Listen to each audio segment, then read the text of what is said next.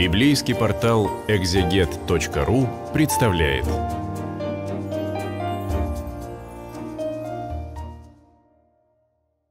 Здравствуйте, друзья! На библейском портале «Экзегет» продолжаем читать книгу пророка Ионы. Эту удивительную историю а, не совсем пророка, скорее антипророка, непослушного Богу, которого Господь вразумляет, наставляет, а он все равно или противится воле Божией, или бездействует. Вот он во время бури, как мы читали в предыдущей главе, пошел в трюм, лег и уснул, проявляет полное бездействие. Действуют в этой истории все. Действует море, действует э, капитан с командой. Там, наверное, в пучине морской большие рыбины кишат, киты, левиафаны и прочие морские существа. Весь мир пришел в движение, буря. Бездействует только пророк Божий. Но Господь заставит его действовать. «И повелел Господь большому киту поглотить Иону». Никакого большого кита на самом деле в оригинальном тексте, в масорецком тексте библейском нет. Есть даг-гадоль. Даг – это рыба, гадоль – это большая. Большой, точнее, даг – слово мужского рода в иврите. Даг-гадоль – большая рыбина, могли бы мы перевести, проглатывает Иону. Все послушно Богу, и все послушны, все живые существа. И не только море, но и существа, обитающие в нем. Вот эта большая чудесная рыба проглатывает Иону. И был, сказано в начале второй главы, Иона в чреве этой большой рыбы три дня и три ночи. Не случайно э, книга пророка Ионы прочитывается у нас на богослужении Великой Субботы в качестве одного из паремийных чтений – это знамение Иона, о котором сказал Христос. Как Иона был в чреве этой большой рыбы, этого, в синодальном переводе кита, три дня и три ночи, так Сын Человеческий будет в, во власти смерти три дня и три ночи, будет в огромной пещере, а потом воскреснет. И вот поколению Христа было дано это знамение, знамение пророка Ионы – Господь ссылается на книгу пророка Ионы, содержание которой, конечно же, а, очень хорошо было известно иудеям первого века. Иона, наконец, начинает действовать. Оказавшись выброшенным с корабля во глубине морской пучины, более того, во глубине чрева этой огромной рыбины, Иона начинает действовать. И действие его проявляется молитвой. Он больше делать ничего не может. Он не может исправить ситуацию, он не может бежать а, туда, куда ему повелел Господь, бежать в Ассирию, бежать в столицу Ашура, в Нинве. Он, все, что он может, это молиться. И эта молитва оказывается действенной. А, основное содержание второй главы книги Ионы – это псалом. Эта молитва как бы а, соткана из разных, из разных а, текстов псалтирий. В ней как бы в ней, э, можно так сказать, синтез многих мест псалтири. Вот, например, я прочту несколько стихов из 138-го э, псалма по нашей нумерации, привычной нам э, нумерации Септуагинты, прочту 138-го псалма стихи с 7 по 10. Говорит псалмопевец, в молитве обращаясь к Богу, «Куда пойду от Духа Твоего? И от лица Твоего куда убегу? Взойду ли на небо Ты там, пойду ли в преис... сойду ли в преисподнюю, и там Ты, возьму ли крылья зари и переселюсь на край моря, как Иона. И там рука Твоя поведет меня и удержит меня десница Твоя. Ну и далее скажу, может быть, тьма сокроет меня и так далее. Но и тьма, и Шеол, преисподня, и там невозможно укрыться от присутствия Божия, от Его с десницы, от его силы. Прочтем этот псалом, который воспел Иона из чрева кита. «И помолился Иона Господу Богу своему из чрева кита, точнее, из чрева большой рыбы, Даг Гадоль, и сказал, «Ко Господу возвал я в скорби моей, и Он услышал меня, из чрева преисподней, Шеол, я возопил, и ты услышал голос мой». Иона понимает, он спустился не просто в чрево кита – а в чрево преисподней, того шеола, куда сходят души всех умерших, он живым сошел в преисподнюю. Удел нечестивых людей, удел богопротивников, как молится псалмопевец, да сойдут они живыми в ад, да сойдут они живыми вместо обитания умерших в Шеол. И вот здесь Иону, Иону постигло то, что должно постигать не пророков, а должно постигать, в общем-то, людей, неугодных Богу, живым сойти в ад, не мертвым после смерти, а живым. Иона живым сошел в преисподнюю, как Надаф и Аверон, как э, другие нечестивцы, как Корах э, и другие, о которых мы читаем в Торе Моисеевой. Земля разверзлась, и они живыми туда сошли. Вот здесь море оказался Иона ниже еще земли, в пучине морской, в чреве большой рыбины. И он говорит, да, я оказался в самом чреве преисподней. И вот оттуда, из чрева преисподней, откуда, казалось бы, нет выхода, я все-таки взываю к Тебе, Господи. Из чрева преисподней я возопил, он говорит Богу, я кричу к Тебе, и Ты услышал голос мой. Господь слышит его и выручает из безвыходной ситуации. Далее он описывает свою ситуацию, описывает свое положение трагическое.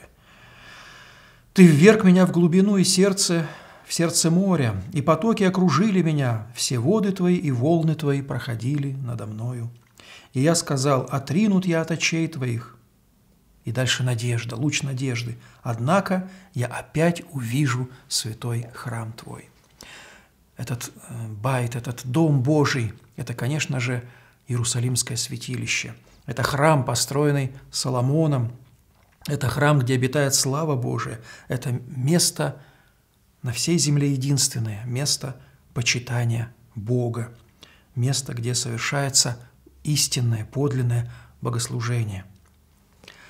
Вот туда-то устремляется сердце Ионы, туда устремляется его надежда вся – из глубины полной безнадежности он эту надежду исповедует и говорит, «Я опять увижу святой храм Твой». Часто эта надежда выражается в псалмах. Видеть лицо Господне, восходить в Иерусалим – это значит видеть божественный храм, храм в Иерусалиме. «Объяли меня воды до души моей, бездна заключила меня, морской травою обвита была голова моя. До основания гор я не шел, земля своими запорами навек заградила меня, но Ты, Господи Боже мой, изведешь душу мою из ада».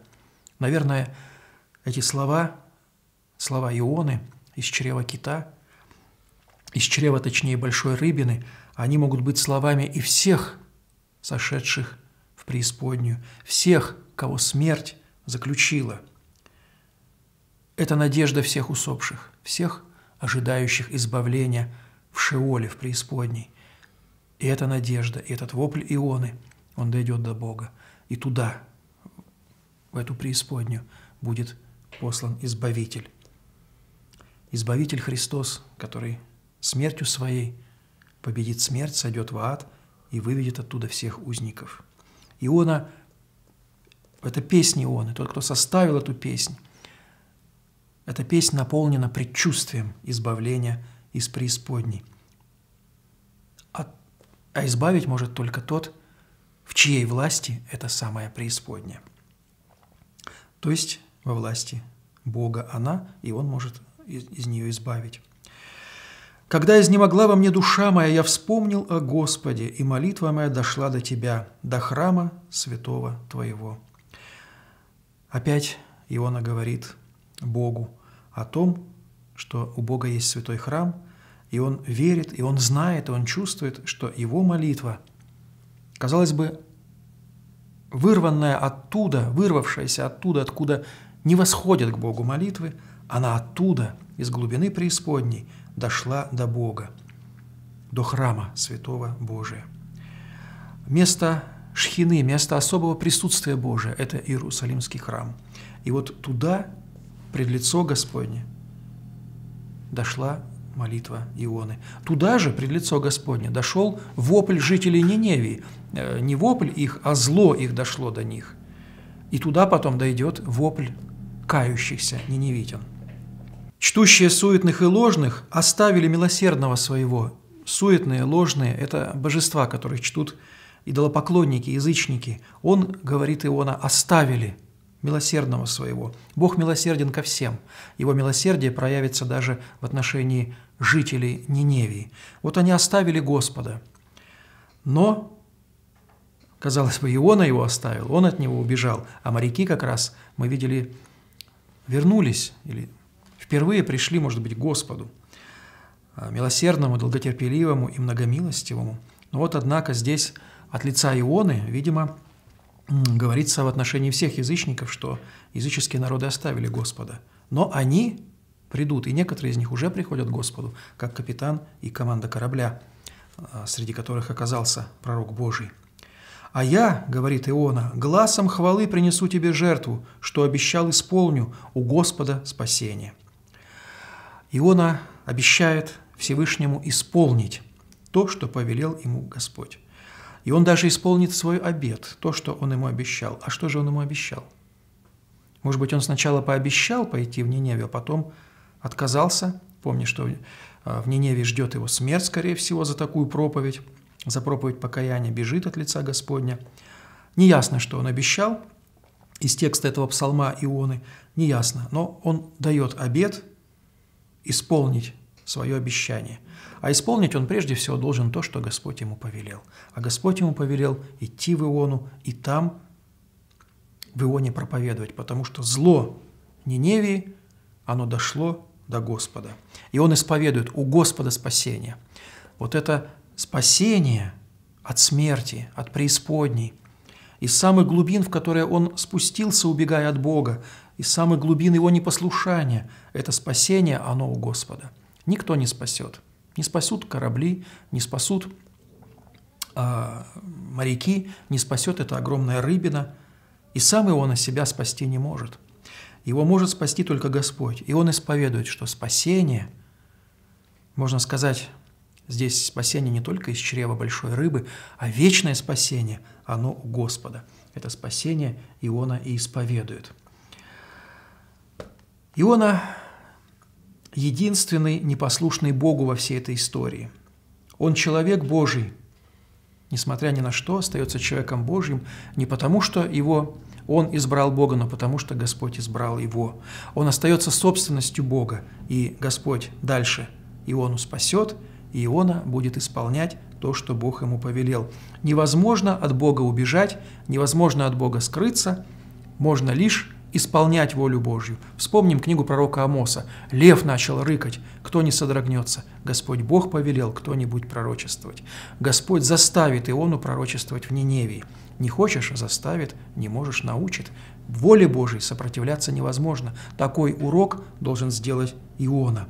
«И сказал Господь большой рыбе, и она извергла Иону на сушу. Туда, к берегам Святой Земли, большая рыба изблевала пророка Божия, и он вновь оказался в том месте, откуда бежал от лица Господня. Так оканчивается вторая глава. Запись делается для библейского портала «Экзегет».